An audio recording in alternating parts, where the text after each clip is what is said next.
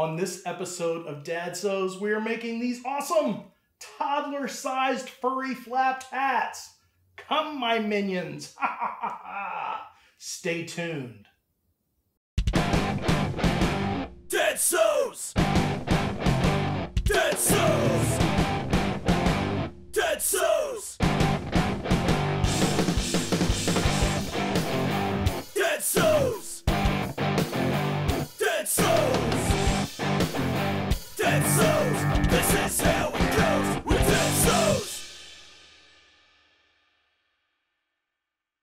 Hey guys and gals and internet pals, thanks for stopping by for another episode of Dad Sews. I truly appreciate you stopping by here. Now, full disclosure, if you're new to Dad Sews, I always sew everything for the first time on camera. And I did that with these hats. But I wasn't really happy with the quality of the video. I thought it left a couple of things out. I didn't think it was very clear in some of my instruction, and I thought you deserve better. So you get to see the finished product, which never happens on Dad Sews, and it will sit there and you can revel in its gloriousness as we get down to making one of these hats.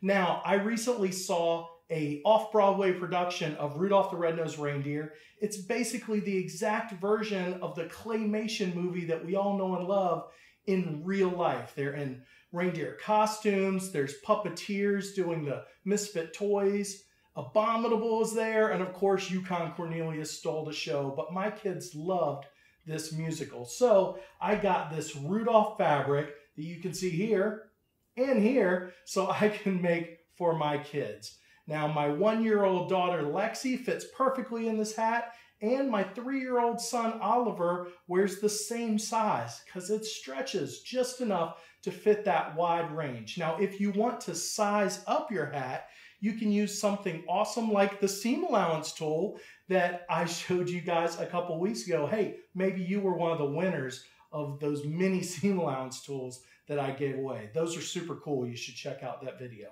All right, now for the liner of the hat, I have this. It's not faux fur. It was just called fluff stuff. I don't really know what it is. It looks like it almost has like a rose pattern on it. But I do know that when you cut it, it basically turns to snow. So you will have lots and lots to clean up. Luckily, I have four children, three of whom I can boss around with the broom. All right, let's go ahead and get started. This pattern is free and you can click below to get this pattern. Now, there's a couple things I don't like about the pattern. One, there was zero instruction and I thought, ha, I need to make a video for this hat. And two, it didn't tell you how much to allow for seam allowances, quarter inch, half an inch, eighth of an inch. It just didn't tell you. I am using the edge of my presser foot for my seam allowance. Now, depending on your machine, that can be a quarter to a little bit more of an inch. You'll just have to measure your foot, but that's the size I'm making it. That's the seam allowance I'm using. Now, a couple things I did like about this pattern is that it has a line on here that says direction of greatest stretch. Now, what does that mean? Well, your fabric stretches in one direction, but not the other. And you need to cut these properly because your hat, when you put it on your head, it stretches a little. It keeps it tight and it allows it to fit on a noggin like a one to three year old. So you want to make sure that you cut in the direction of the stretch. Now, it has a long piece that isn't on the pattern. It tells you on the pattern hat top strip 4.75 by 13. You have to cut that yourself, so I made a template instead of just measuring the fabric. Ooh, more of that fluff snow. So I went ahead and cut that myself so that I'd always have it on the ready. And then I could use my seam allowance tool and my scissors to measure a bigger size if I wanted to upsize this hat. Super easy. All right, now this piece I did not cut with the stretch for the striped hat, or the arrows, I guess you would say, uh, because I wanted to line up all of the lines. These lines are tight, folks, tight. But this one I did with the stretch. I don't think this one matters as much as the side pieces, but that's up to you and your pattern and how well you want things to line up and look. All right, let's get to cutting. All right, now for the cutting, I'm gonna go ahead and use my handy dandy rotary tool and I'm using the actual pattern. Now here's a tip, a lot of times I transfer my patterns onto butcher paper or construction paper. You can get it in a big brown roll at Lowe's. And that way you don't mess up your original pattern and you can just tie it up or roll it up and throw it in your sewing gear and keep your original pattern intact. Now, because this is a free downloadable pattern, I don't care. I can print this off anytime I want. But if I was gonna upsize it, I would definitely lay this onto some of that butcher paper with my seam allowance tool and mark or cut a bigger size. It just makes everything so much easier to upsize. Now, of course, this has the line on it that says direction of greatest stitch. You do want to follow that instruction, but I also want to make sure I get this character on here. When I made the first hat for my one-year-old daughter, Alexi, my son, Ollie Mack, said, Papa, I want a hat with Rudolph, not Clarice, because I had mainly cut out Clarice, not really planning it, just making the hat. So now I am strategically cutting around so I get more Rudolph. Now this means I'm gonna waste more fabric, but it also means I have a happy boy. And this is still the direction of the greatest stitch. So let's go ahead and get this cut. With our rotary tool, it's very, very easy. Just kind of roll on down the way. All right, and if you catch a little of your fabric, it is not that big a deal. If you catch a little bit of your pattern, it's not that big a deal. Of course, if you catch some of your fabric, it's not a big deal. That's what you want to cut. All right, here we go. And there we have it. There we go. Rudolph, right front and center. Now, the thing that Ollie Mack doesn't realize is this is the front flap that's going to be flipped up the other way. But I've gone ahead and pre-cut my side pieces and all of them showcase Rudolph. So he should be happy. Plus, he gets a bright red nose. All right, I'm gonna cut the rest of my pieces. They're exactly the same for cutting the fluff fabric as well. It just means you're gonna have snowy bits if you use what I use, or you can use faux fur, or you can just use another fleece, like a plain colored fleece. This is a very cheap project that you can mass produce for your whole family. Christmas of hats! And better yet, you can get this fabric cheap at fabrichut.com.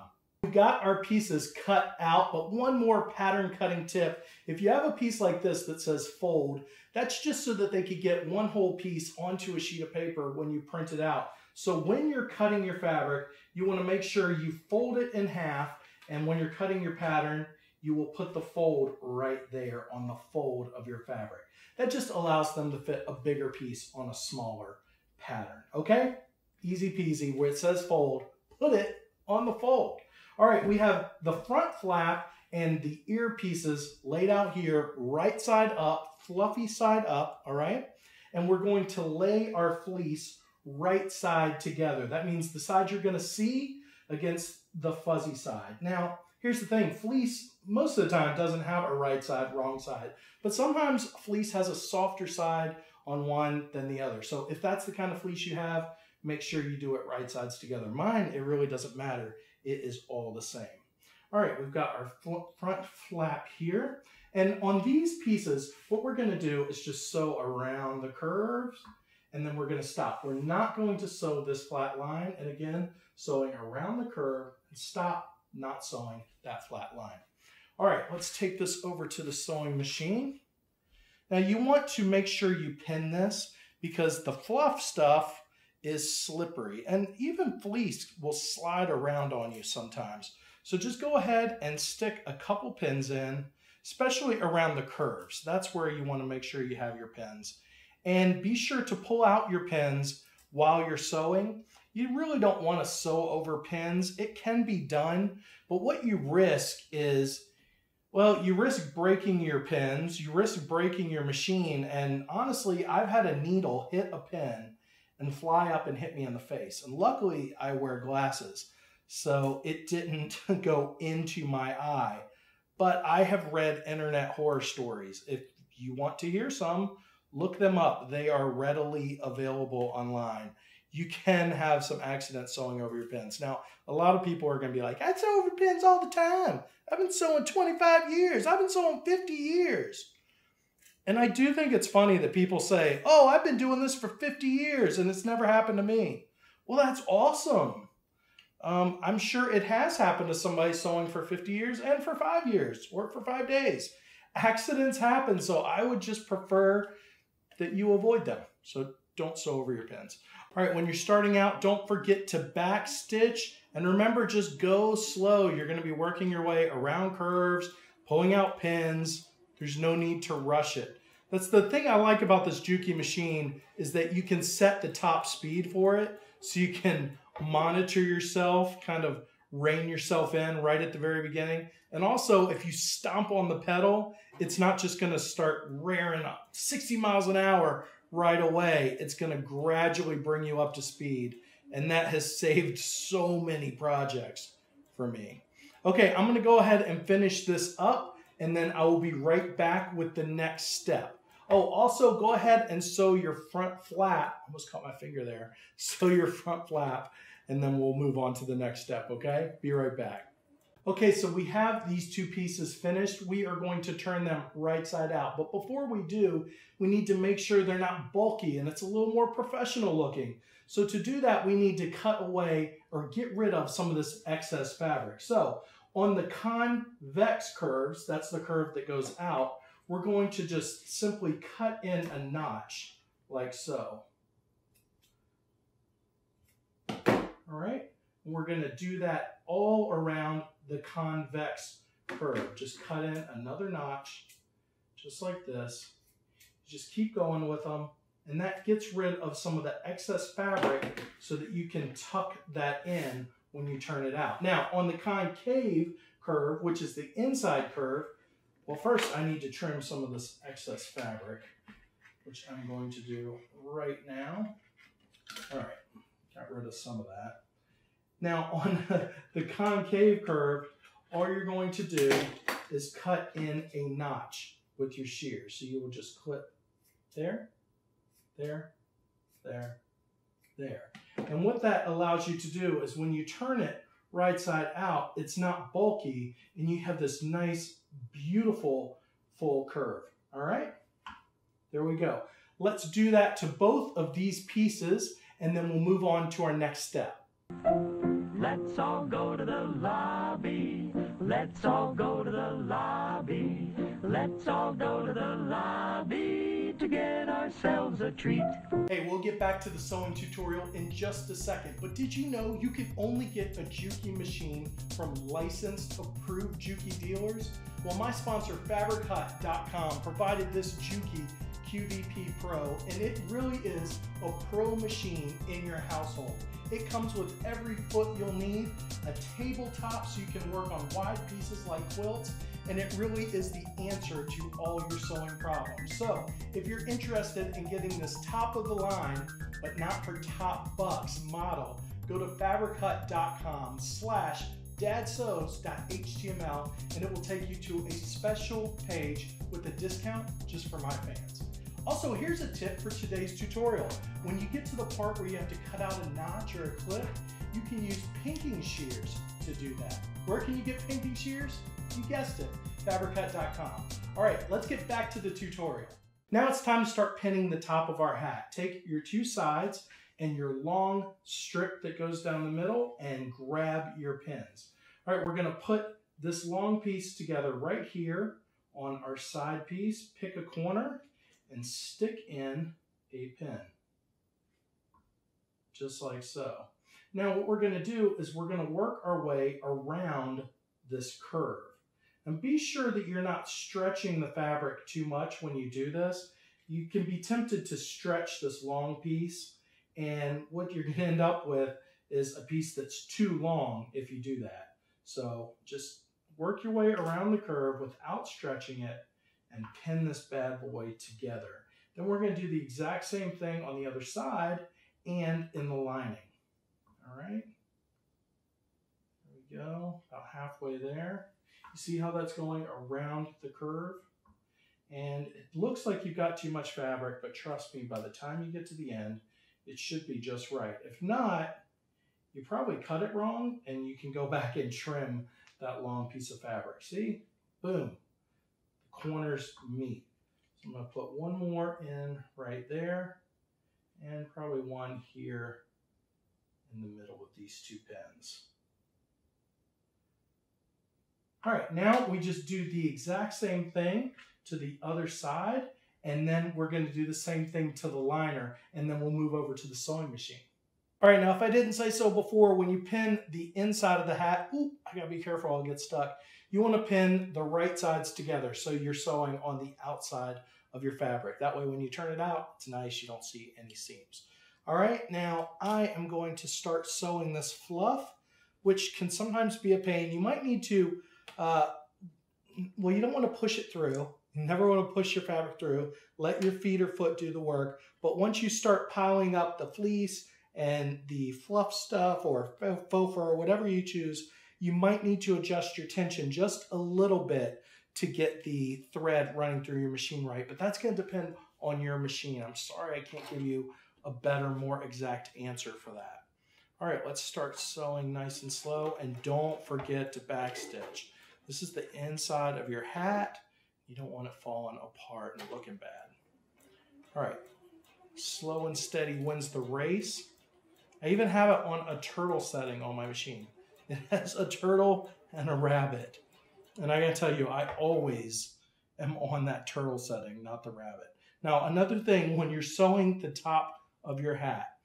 You want to really make sure that you're not catching the other half of your hat underneath the needle, okay? That's very, very important. Otherwise, you're going to be pulling out a seam ripper and ripping some seams. Trust me, I've done that stuff so many times. You think you're sewing a perfect seam and you're like, oh, it's a little thick in one spot. Yeah, that's because you sewed the other half of your garment. All right, so just be careful out there, folks. All right, we're coming up around the edge of our curve here. That wasn't so pretty, what I just did. But guys, this isn't to matter. It's the inside of your hat. It doesn't have to be pretty. So many people are afraid to start sewing because they're like, it's not to look perfect the first time. Yeah, duh. Guy doesn't go out and say, hey, I want to learn construction and build a brand new high rise and expect it to look perfect. No, you build a doghouse, okay? And that doghouse is going to look like dog stuff. It's not going to look great the first time, all right? Trust me, I built a ugly doghouse. My second one was fabulous though. So just make a hat, waste some fabric, waste some thread.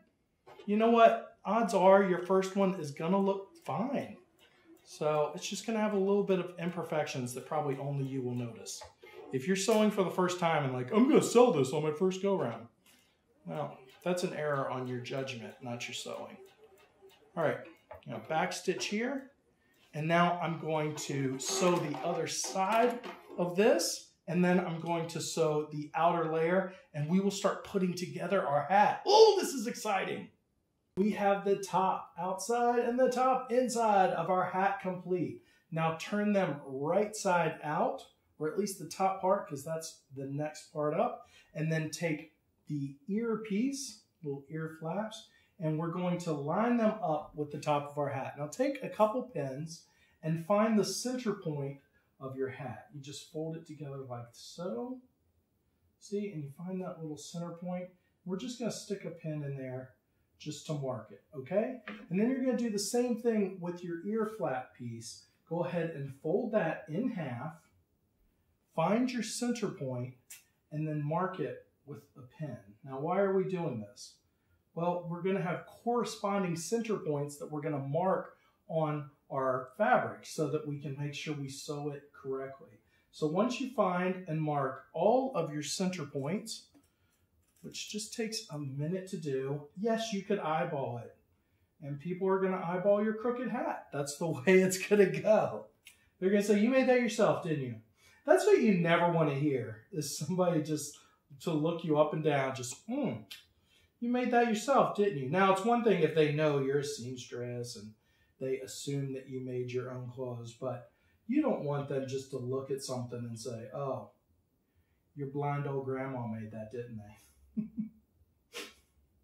or you were following that kooky dad sews guy again, weren't you?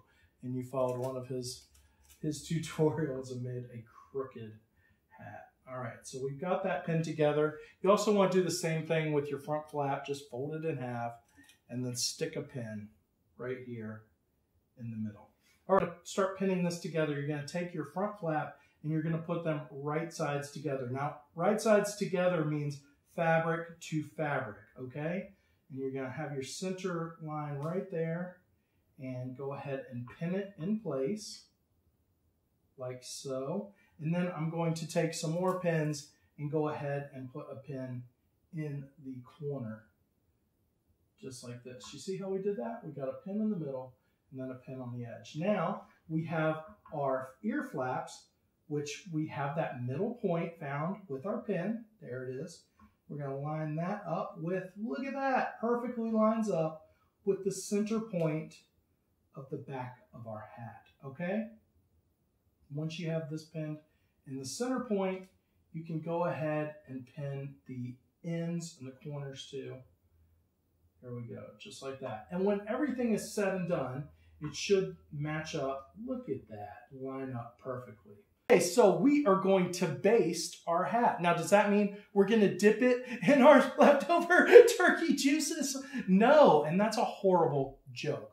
Bad dad joke we are going to use a basting stitch. And on my QVP machine, that just means turning the stitch up to five. You're taking a basic straight stitch that's normally close together and you're lengthening the stitch as far as you can go. That makes it easy to use your seam ripper and pop out that seam later. And it just holds everything together until we do our final stitch with the lining of our hat. So dial up your machine, however it is on your machine, look it up in your manual or hey, they make this thing called YouTube. It's awesome. And uh, go ahead and start sewing all the way around. Be careful when you get to the thick parts, okay? Um, you just gotta be very careful that your machine goes over them. And if you have to, which I think I'm going to, adjust my tension just a little bit to make sure that it goes over those humps and I get the proper stitch. All right, go ahead and sew that up and then we'll be right back with our final step. And you're to have a hat in like, like two, three minutes. It's to be awesome. All right, we're at the next to the last step. We have a hat, we just don't have a lining. So take your hat, the right side, and make that the inside of the bowl, okay? And then flop down your flaps inside of the bowl. Then we're going to put the right side of our hat, the soft side of our lining, inside of the bowl, just like so. And you can line up the center points like we did earlier, or you can just really just find the seams and go ahead and put a pin there at the seam. Now this is the next to last step because there is a little bit of hand sewing involved. I'm sorry. I'm sorry if you felt misled that you could do everything on the sewing machine, but I never said you could. We're not going to finish sewing the whole way around with the sewing machine because we have to turn the hat out. Okay, so on this last bit on the back panel of the hat, I'm not going to finish sewing that. I'm going to leave it open from here to here, and that's going to allow me to pull the flaps out of the hat and flip the lining the right way out, and we'll have a hat. So I'm going to finish pinning this up, then we're going to sew it and complete our hat. Excellent. Okay, if you have a tabletop extension, you can rip that off of your machine and you can move it to the side and it'll make things a heck of a lot easier. And you can go ahead and start sewing around the machine like this. Oh, so much better. All right, drop our foot down and remember to put your stitch back to normal. Uh, mine was at that uh, five, so it was that nice long basting stitch, but we want to drop it back down to normal and then put our foot down and sew, sew, sew. Now remember, we don't want to sew over all of that back flap, all right? Remember to leave yourself a hole so you can turn out your hat. Turn it out. All right, almost there, almost done. So close. Remember, if you have a hard time going over those thick spots, just adjust the tension on your needle, okay? Come on, you guys are old hat at this. Ah! Hat. Oh, man, got jokes for days. All right, and past the seam, and I'll have left just enough to turn out. I'm gonna go ahead and backstitch there too. All right. Well, here is the moment of truth. And pull that last pin out. You don't want to leave any pins in your kid's hat. I'm just saying. They will frown upon that. All right.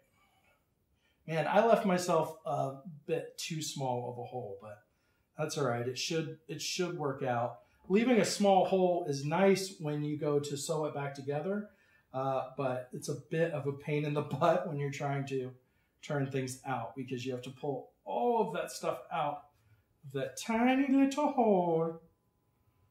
But I've witnessed childbirth, so it's possible. It's possible, guys. All right, here we go. Oh, so, so close. Now I could skip ahead, but you should see how difficult this can be if you leave your hole too small. Oh, there's a flap. It's like getting a leg. I see a leg. It's breech. Oh my goodness. All right, leave yourself a little more room than I did, okay? Okay, guys, now once you have your hat turned out, you will want to close up this hole and you want to use a ladder stitch for that. A ladder stitch is a hidden stitch. I am linking a video below. I didn't make a ladder stitch video, but the one below you can click on. It's super easy or just go to dadsews.com slash ladder stitch. It will take you there. It's a great video. That's how you close up your hole. Now, you could do some other extras. Uh, most people sew this open for kids, but you could make a permanent button like this. Uh, you could put straps on the sides so you can tie the sides up. All you would do is put some fleece strips into that curve right before you sew it. That's easy peasy. I'm going to put a red nose like this on my son Ollie Mac's hat, but you could use one of those flashing bulb noses that they have around necklaces for kids at Christmas time, or you could put a big red jingle bell. I think that would look really cool as well. Man, I am super happy with how this hat turned out. I hope to see pictures of yours as well. Now stay tuned, you're to see pictures of my daughter Alexi, who's one year old, wearing her hat and maybe dancing around, and Ollie Mac as well. If you like this video, please click a thumbs up below. Give it a like on Facebook. Give it a share on Facebook with your friends, on your wall, or on Twitter. I'm at Twitter, at Dad Sews. Thank you so much for watching. I really, truly appreciate you stopping by, and I will have a new tutorial out for you soon.